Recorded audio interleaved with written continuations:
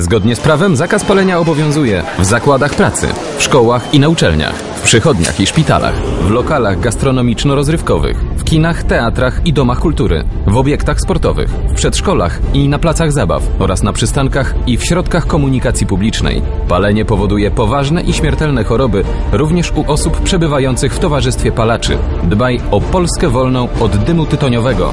Osoby łamiące prawo mogą zostać ukarane grzywną.